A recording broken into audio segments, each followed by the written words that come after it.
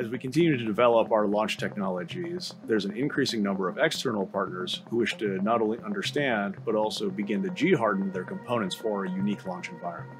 So Neumann Space, it, it's a propulsion business, and uh, I think a bit uh, like SpinLaunch, we see the rapid change, but also the great importance of the emerging space economy. And as much as launch has to change dramatically, propulsion has to change dramatically. Today we're at SpinLaunch in Long Beach, USA. Uh, Neumann Space is doing a partnership with SpinLaunch so that we can test our propulsion system for fit in the S-20 satellite from SpinLaunch in their accelerating uh, accelerator system.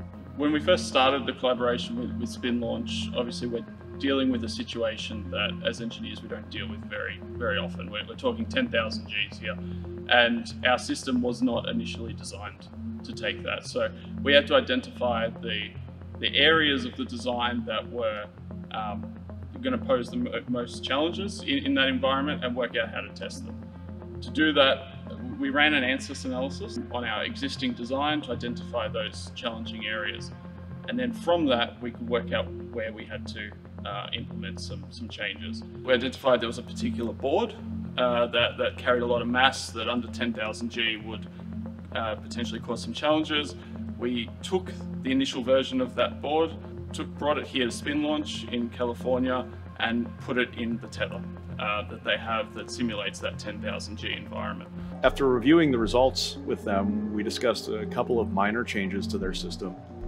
Three of the key takeaways from that first test had to do with complete underfilling of the capacitors, a change in design philosophy around the load path, and the third one also had to do with string compatibility in the high G environment. We essentially, through an iterative process, increased the uh, epoxy adhesive within the system to underfill the capacitors, increased the board thickness, and, and a few other small fixes, and, and, through that process, we were able to uh, achieve the 10,000 G environment. When you first hear that number, it sounds insane. At the same time, though, once you delve into that analysis and, and start actually crunching the numbers and thinking about how things are going to, to move under that loading, you realize that it is an achievable number. It didn't take too much to adapt that um, to uh, achieve the 10,000 G loading environment. Now that this is done, the next step is going to do the full one new version of the Neumann Drive, call it the Neumann Drive dash S for spin launch, and qualify it for their accelerator and their satellites.